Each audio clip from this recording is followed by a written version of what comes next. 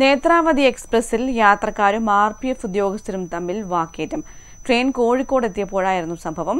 General കോച്ചിൽ കയറാൻ സാധിക്കാതെ വന്നപ്പോൾ ജനറൽ സീസൺ ടിക്കറ്റുകാർ റിസർവ് കോച്ചിൽ കയറാൻ ശ്രമിച്ചതാണ് പ്രശ്നത്തിനിടയാക്കിയത്.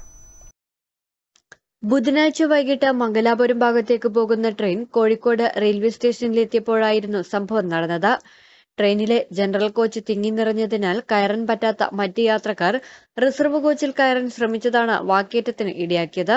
റിസർവ് കോച്ചിൽ കയറിയ സ്ത്രീകൾ ഉൾപ്പെടെയുള്ളവരെ ഉദ്യോഗസ്ഥർ ഇറക്കിവിട്ടു. ഇതോടെ ആർ പി എഫ് ഉദ്യോഗസ്ഥരും യാത്രക്കാരും തമ്മിൽ വാക്കേറ്റവുമുണ്ടായി.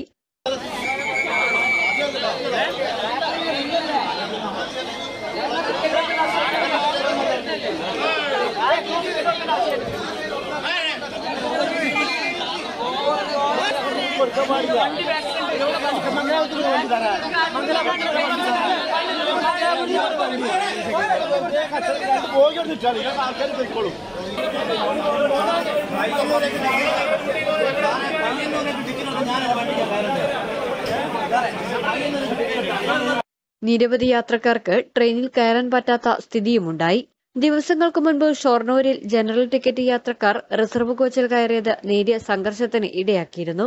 മംഗലാപുരം ഭാഗത്തേക്കുള്ള വൈകിട്ടുള്ള അവസാനത്തെ ട്രെയിൻ നേത്രാവതി എക്സ്പ്രസ് ആണ് ഇത് കഴിഞ്ഞാൽ പിന്നെ കാസർഗോഡ് ഭാഗത്തേക്ക് പുലർച്ചെ രണ്ടരയ്ക്ക് വരുന്ന Chennai Mangalapuram west coast express മാത്രമാണ് ഉള്ളത്.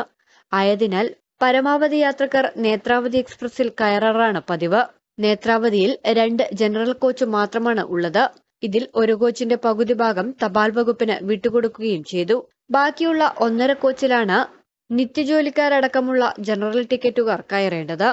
കൂടുതൽ ജനറൽ കമ്പാർട്ട്മെന്റുകൾ അനുവദിച്ചുകൊണ്ട് യാത്രാ ദുരിതത്തിന് പരിഹാരം കാണണമെന്നാണ് യാത്രക്കാരുടെ ആവശ്യം.